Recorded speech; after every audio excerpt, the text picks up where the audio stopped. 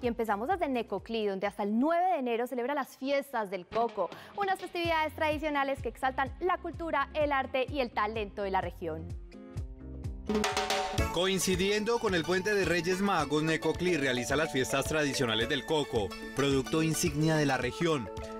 La celebración inicia con festivales artísticos, cabalgatas, torneos deportivos y actividades musicales.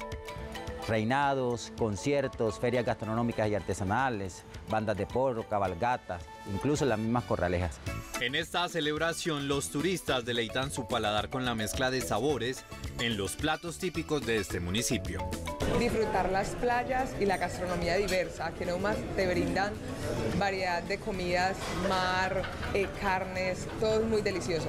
Este territorio, ubicado a 383 kilómetros al sur del occidente de Medellín, celebra sus festividades hasta el 9 de enero.